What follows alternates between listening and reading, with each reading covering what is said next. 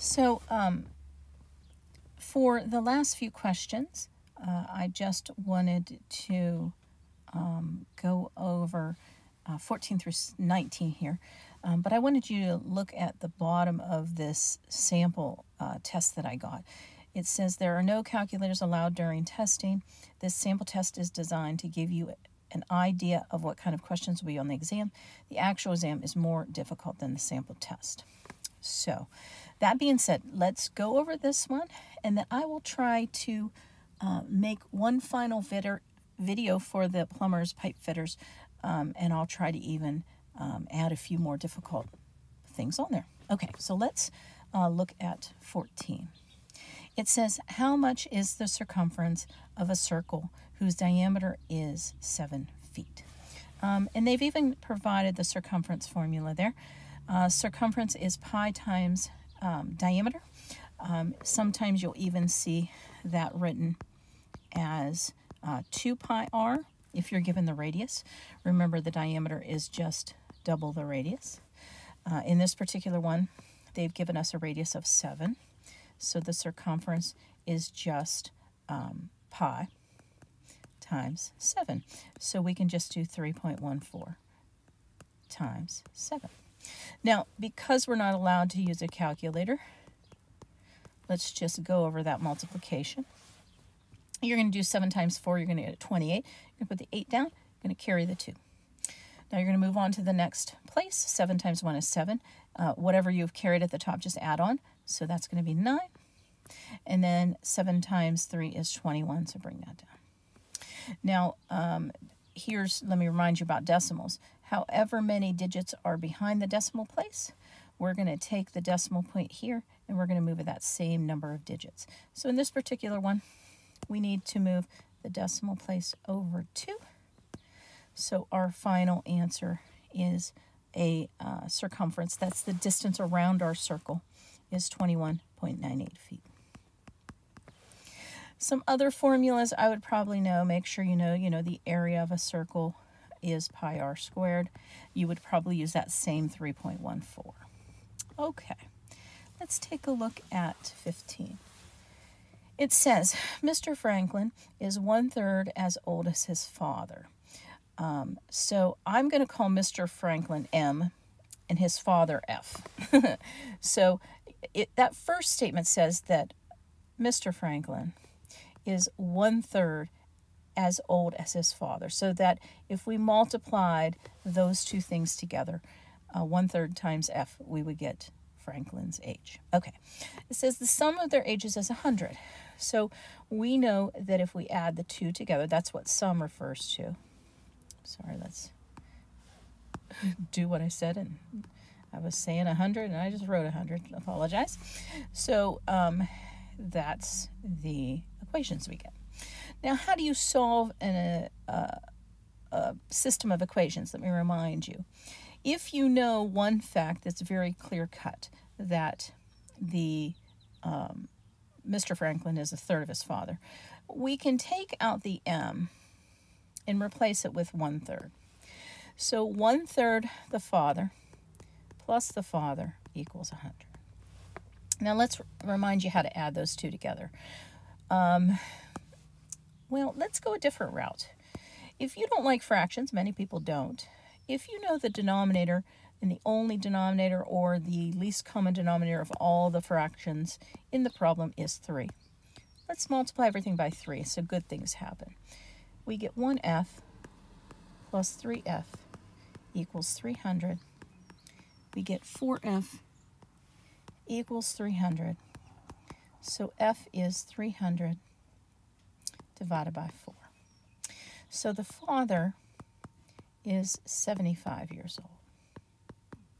Now, here you can check your work. If the father is 75 years old, then the son is a third of that, or 25. And do they add up to 100? Yes. Now, you can use logic for problems like this. You don't have to do algebra. Um, you know, you can start out and thinking, oh, well, what if, what if uh, the son is 20? That's a third of the father, so the father would be 60. That only adds up to 80. Oh, so they must be a little older to add up to 100.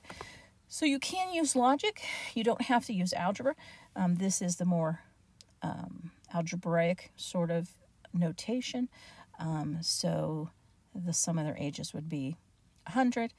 Uh, Mr. Franklin's a third of his father. So there you go. Okay. Uh, let's move on to 16 is an algebraic equation.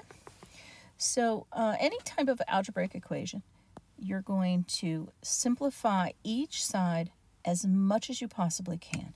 So you notice here how we've got all that stuff we can do there. So negative 8 plus 2 is negative 6, plus another 2 is negative 4. So let's make that negative 4 equals 2 minus x. And I'm going to write that, what we've got right here. Okay.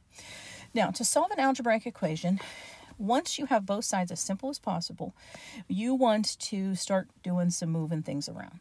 So I would probably suggest moving this to the other side. Now, many of my students make mistakes because they want to subtract uh, that, or because that's a minus, they want to add it. Which do you do? Well, just look in front here. That is a positive 2. So to, to undo that, we are going to subtract 2 from both sides. That will take that 2 away. So we're going to get negative 6 equals negative x. You'll notice that the negative just comes down with it. Now, what do you do next? Well, we have to divide both sides by negative 1. Please remember that two negatives divide to become a positive. positive, and we find that x is 6. So there's an equation, a little bit of algebra there in 16.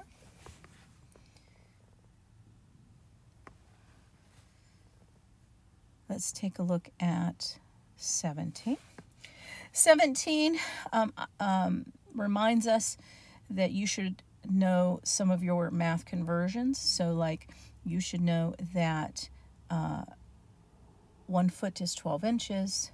Um, and in this case, we would need to know that um, uh, one yard is three feet. And so any of those conversions would be good to know. This next one here says how many square feet are in a square yard.